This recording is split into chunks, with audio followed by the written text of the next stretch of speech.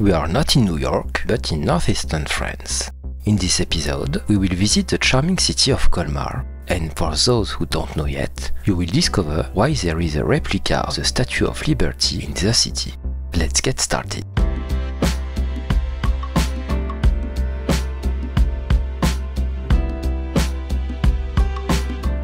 Colmar is a city located in northeastern France, specifically in the region of Alsace. It stands out for its exceptional beauty, preserved historical architecture, and rich cultural heritage. Colmar is often referred to as the capital of Alsatian wine due to its privileged location in the heart of the Alsace wine region, renowned for its world-class wines.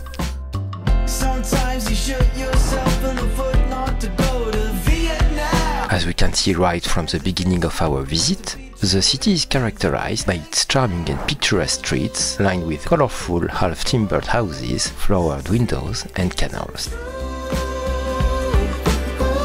Its architectural style reflects a blend of German and French influences, bearing witness to the region's rich history and cultural exchanges that have shaped it over the centuries. We now arrive at St. Martin's Church. Located in the heart of the city, this remarkable Gothic church dates back to the 13th and 14th centuries with additions and modifications over the centuries. It's an architectural and religious jewel of great historical significance. The exterior of the church features an imposing facade with typical Gothic elements such as flying buttresses, gargoyles, and detailed sculptures. The colorful stained glass windows, restored in the 19th century, add a special beauty and luminosity to the interior of the church. Once inside, one is immediately struck by the height of the vaults and the grandeur of the space. It houses numerous artistic treasures, including sculptures, altars, frescoes, and paintings. The impressive organ, dating back to the 18th century, is also a notable feature of the church.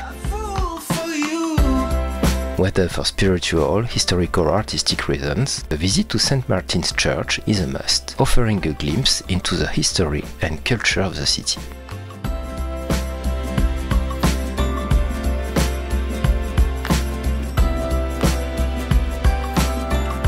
Leaving the church, we continue our visit and discover the Locksmith Streets.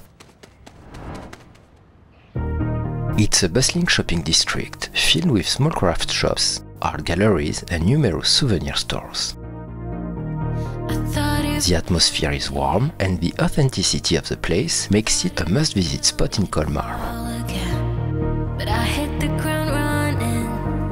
One can come across the Dominican Church, which is a living testimony to the Gothic architecture and artistic richness of the region.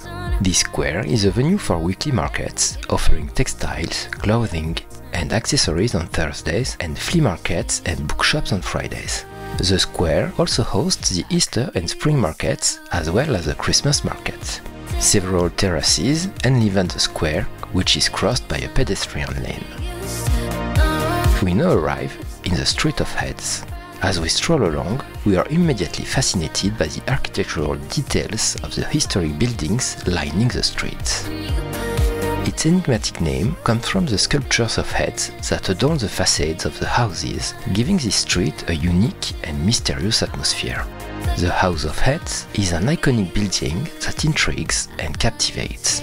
This richly decorated house is recognizable by the numerous sculpted heads adorning its facade. The house gets its name from the 106 sculpted heads representing a wide variety of human faces, animals, and fantastic creatures. These detailed and expressive sculptures are artistically arranged on the wooden beams of the facade. It was built in 1609 for the wine merchant Anton Burger and is attributed to the architect Albert Schmidt, who was also responsible for the former Protestant presbytery and the house known as the Knights of St. John. The gable of the building, decorated with volutes and finials, is topped by the statue of a cooper, a work by Bartholdi, who responded to an order from the wine exchange, which has moved into the building in 1898. The House of Heads underwent restoration in 2012 and today stands as a historical monument housing renowned hotel restaurant. The history of the Street of Heads dates back several centuries, and this street is often considered one of the oldest in Colmar. The buildings that compose it represent various architectural styles ranging from Gothic to Baroque and even Renaissance. It's a true journey through time where one can imagine the daily life of the inhabitants throughout the ages. In addition to its aesthetic appeal, this street also houses craft shops, art galleries, and charming little cafes. It's an ideal place to wander, shop, and enjoy the peaceful and historic atmosphere of the old town. On our walk along the Quai de la Sinn, suddenly the rain starts to fall. And of course, we believed the weather forecast and didn't take the umbrellas with us, so we take shelter for a little while until the sun returns. This pathway offers a unique perspective on Colmar and invites relaxation while enjoying the serene beauty of its surroundings. The quay is also close to several major attractions in Colmar. The Unterlinden Museum, famous for its Isenheim altarpiece, is nearby along with other historical and cultural sites. We began our visit with a nod to transatlantic history with the Statue of Liberty, and there is indeed a reason for that. The Statue of Liberty is certainly one of the most well-known monuments in the world, yet few people know about its creator. In Colmar, a faithful replica of this iconic symbol proudly stands on the roundabout, recalling the close ties between Bartholdi, the famous sculptor, and his hometown. It's a poignant symbol of freedom and Franco-American friendship.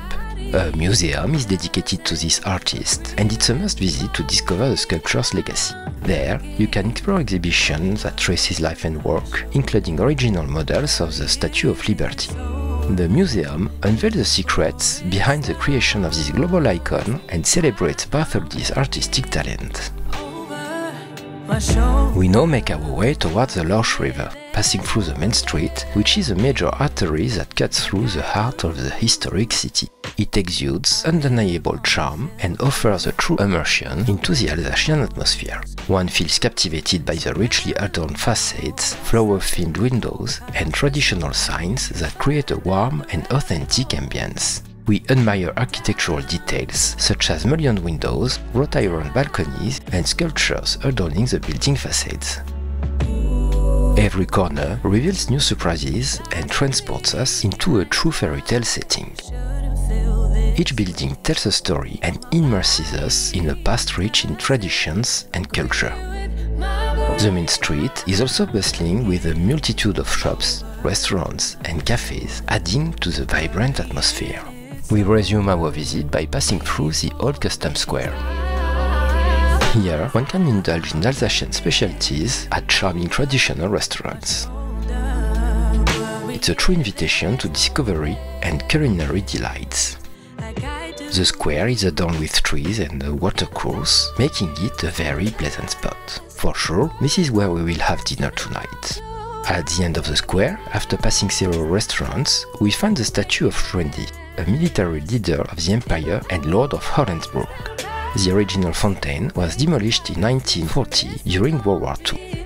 It was replaced by the current basin, which was readmitted with its original statue dating back to 1898. According to legend, the vine plant he holds would be the Tokay grape variety that he supposedly brought back from his campaigns in Hungary. However, it's only a legend, as it is known that Alsatian Tokay is actually a Pinot Gris grape variety that has been known in the region since the Middle Ages. The Lauch is a river that flows through the historic center of Colmar. It's one of the iconic features of the city and adds a touch of natural splendor to its urban landscape. Once again, we find colorful half-timbered houses that contribute to the charming atmosphere of this neighborhood. We discover the market building, a true culinary paradise. The stalls overflow with the local products such as cheeses, wines, fresh fruits, and Alsatian specialties. We admire the reflection of the colorful houses mirrored in the calm water. It's an ideal place to relax and enjoy the peaceful atmosphere of the city. The bridges that span the Lauch add to the picturesque atmosphere. Traditional boats glide slowly on the river, adding a charisma to this idyllic landscape. It's a central element of the city's identity, perfectly representing the harmony between traditional architecture, nature, and the peaceful way of life in the Alsace region. The river has played an important role in the development of Colmar. It was used as an essential transportation route for trade and has contributed to the city's economic prosperity over the centuries. Today, it adds a touch of tranquility and serenity to Colmar's vibrant atmosphere. It's truly enjoyable to stroll along its banks. Whether for a romantic walk, a photography session, or simply to relax by the water's edge, the Lauch offers an unforgettable experience in the heart of Colmar we catch a glimpse of the statue of Bartholdi, a representation of the provost, Jean Roesselmann, who lost his life in 1262 while valiantly defending Colmar and its communal liberties against the troops of Coftosnes of the Bishop of Strasbourg. No, it's time for dinner. This visit has truly made us hungry. We still take a final stop at the Fishmonger's Quay and go see the statue of the little vine grower, a copy of which was offered to the city of Princeton in the United States on the occasion of its twinning with Colmar.